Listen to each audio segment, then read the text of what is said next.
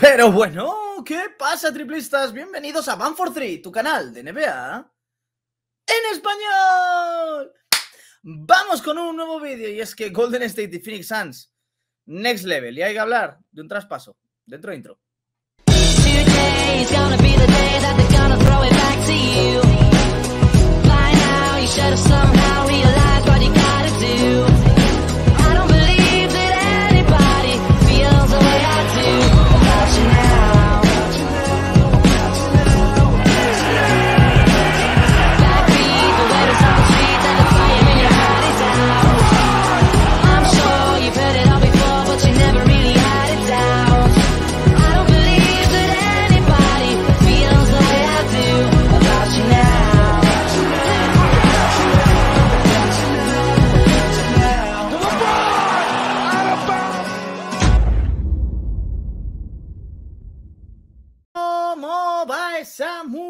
Triplistas calentando motores para un nuevo vídeo de Van for 3? ¡Claro que sí!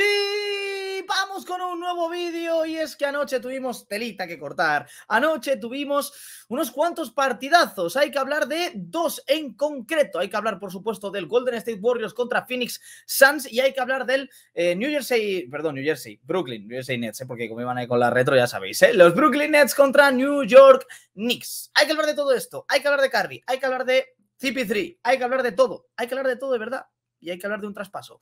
Hay que hablar de un traspaso entre John Wall y Kemba Wall. Que espérate, te tengo que pedir que te suscribas, que te unas a esta comunidad de triplistas. ¿Y cómo puedes hacerlo? Como Carry ayer, no.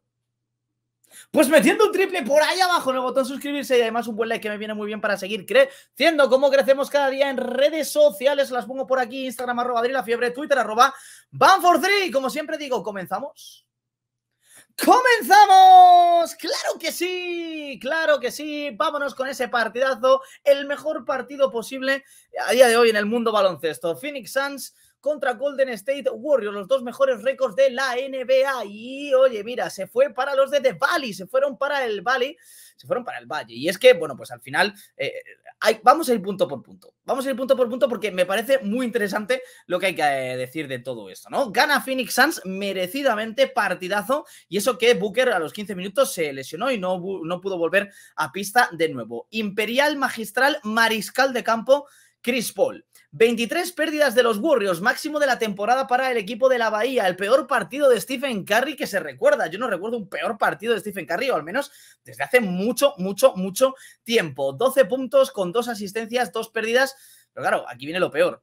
4 de 21 en tiros de campo con un 19% y 3 de 14 en triples. Madre mía, con un 21%. 3 de 14 en triples para Stephen Curry. Peor no se puede hacer. Vámonos con las conclusiones de este partido. Uno, los Warriors y los Suns están a otro nivel. Están a otro nivel, por encima del resto ahora mismo en la NBA. Del resto, de cualquiera. Me da igual Brooklyn, me da igual el que sea. Warriors y Suns ahora mismo están a otro nivel. Dos, las bajas en ambos lados, ¿no? Las bajas en ambos conjuntos que no nos dejan ver del todo lo que puede llegar a ser más adelante este, este, este enfrentamiento, ¿no? Bueno, al final, pues lo que comentaba, Booker al final no jugó para, jugó solo el primer cuarto para eh, Phoenix Suns y luego Wiggins jugó todo el partido, pero Wiggins venía con dolores de espalda y se le notaba, y mucho que Wiggins estaba a la mitad o menos. Eh, Demion Lee Andre Iguodala y por supuesto Clay Thompson y James Wiseman que todavía no están en el conjunto de Stephen Curry y de Steve Kerr, los Warriors. Bien, tres, vamos al punto número tres. Partidazo de Chris Paul y lo contrario de Stephen Curry. Y aún así, fijaros que eh, me parece interesante, con un grandísimo partido de Chris Paul y un malísimo partido de Stephen Curry, pese a las bajas de Booker y las bajas de eh, Clay, etcétera, que, por parte del otro lado, y si no me dices, oye, Clay y Wiseman no cuentan, vale, pues Demion Lee, que es importante, son los máximos anotadores de, de los Warriors, y Wodala, que siempre también es importante, y Wiggins jugó tocado. Pues pese a las bajas y el partidazo de uno y el mal partido del otro, al final estuvieron hasta el final luchando el partido. Los Golden State Warriors lo lucharon hasta el final. Por lo tanto, eso también nos dice muchas uh, cosas. Lo mejor, por supuesto, ¿sabéis qué es lo mejor? Que tenemos otro partido esta semana, que tenemos revancha, que tenemos otro partido entre Phoenix Suns y Golden State Warriors el viernes. Que, ¿Por qué no todas las semanas dos partidos de este calibre? Por favor, necesitamos dos veces a la semana un Phoenix Suns Golden State Warriors. Y además tenemos otro el día de Navidad. Y ahí se espera precisamente que sí esté Clay Thompson. 5 tácticamente, por eso digo el punto número 4, 5 tácticamente es el mejor partido que se puede ver hoy, de verdad, el mejor partido. Es increíble ver a Golden State Warriors contra Phoenix Suns. Oye, ¿tú qué piensas? La culpa la tiene Curry. Estuvo, o la culpa la tiene la defensa de Phoenix Suns, que defendió muy bien a Stephen Curry. La verdad es que hicieron las coberturas muy bien, los dos contra uno, salieran siempre del flash después del bloqueo. Defendieron muy bien a Curry, pero ¿es más culpa de Curry o es más culpa de la defensa? Yo creo que un poco las dos cosas. Evidentemente, peor no se va a hacer.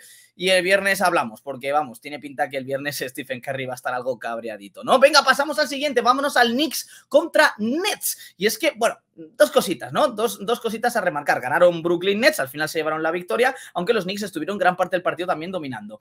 James Harden es la clave. James Harden es la clave de todo en Brooklyn Nets. Metió 28 puntos al descanso.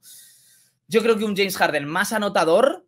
Hay que encontrar un poco el balance, ¿no? Entre el anotador y el base, ¿no? Y el asistente. Pero más anotador creo que les hace más falta, ya que no está Kyrie Irving, ¿no? Yo creo que un Harden más anotador va a ser la clave para que Kevin Durant y sus Brooklyn Nets vayan mejor todavía de lo que ya están, primeros de la conferencia este, en la NBA de cara al futuro. Eh, también quiero recordar que sin Kyrie, claro, viendo un poco y hablando un poco lo de antes, ¿no? De los Warriors y, Phoenix, yo no les veo a ese nivel.